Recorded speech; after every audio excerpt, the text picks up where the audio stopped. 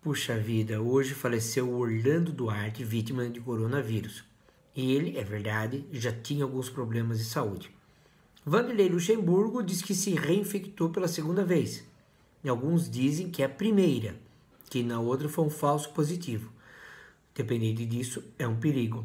Gustavo Scarpa, jogador de futebol, ele sim foi reinfectado duas vezes. Também vimos, lamentavelmente, a morte do Marcelo Veiga, ex-jogador de futebol com histórico de atleta e que faleceu.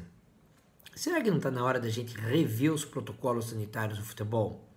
Ou ainda, ter a responsabilidade e a humildade de reconhecer que os atletas profissionais estão sendo muito expostos e não estão conseguindo evitar o contágio?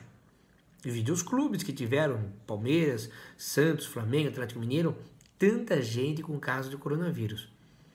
Talvez pausar o Brasileirão seja necessário. Eu sei que vou falar, ah, mas não tem data. Amigo, quem mandou fazer o campeonato, querer fazer o campeonato com tantos jogos sem reduzir e ter a sensibilidade da necessidade de datas? Veja na Europa como se adaptaram. Paciência.